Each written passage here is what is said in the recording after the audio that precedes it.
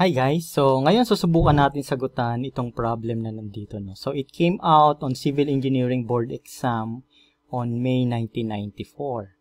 We previously solved problems for the pressures in static fluids. No? So, we will be applying that same formula dito sa problem na to. So, assuming specific weight of air to be constant at 12 Newton per cubic meter, what is the approximate height of Mount Banahaw If a mercury barometer at the base of the mountain reads 654 mm and at the same time, another barometer at the top of the mountain reads 480 mm. So, ito yung ating mountain. Our specific weight is constant at 12 Newton per cubic meter. No? And then, uh, ang ating barometer reading, okay, mercury barometer reading at the top of our mountain is 480 mm and at the bottom sorry this is bottom. And at the bottom our reading is 654 millimeter. So ang required sa atin is to find the height of the mountain. Okay so we learned from our previous lecture that pressure is equal to the density of the fluid the acceleration to the gravity and the pressure head. And then we learned that the difference in pressure between P2 and P1 is equal to the specific weight times the uh, uh, pressure head. No? And applying that to this problem here, we could write this at the pressure at the bottom minus the pressure at the top is equal to the specific weight times the height of the mountain. So dahil required ang height of the mountain, we could write this as h is equal to pressure at the bottom minus pressure at the top over the specific weight. Okay, so from this given here, alam natin yung pressure head at the bottom and the pressure head at the top. So, we can use that by substituting itong formula ng ating pressure here dito sa ating given. No? So, let us do that. H is equal to Unahin natin yung pressure at the bottom. Okay, so the fluid that we use is mercury because we have a mercury barometer in here. So, ang specific gravity ng ating mercury is 13.6.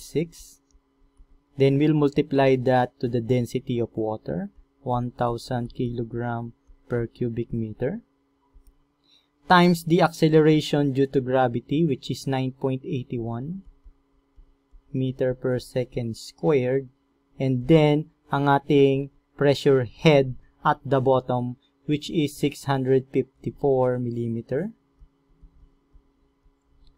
But then we have to convert this into meter. So we have 1000 millimeter is equal to 1 meter. So ano bang magiging unit natin dito guys?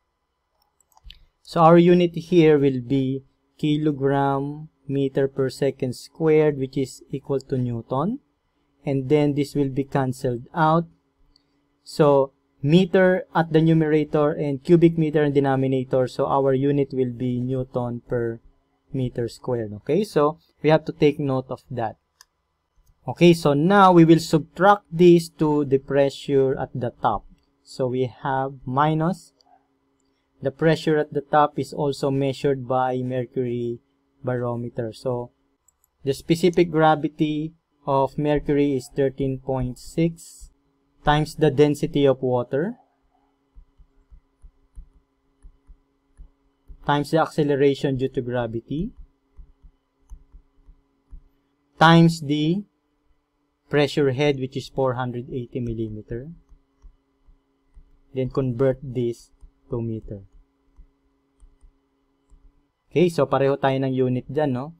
And then, we will divide all of this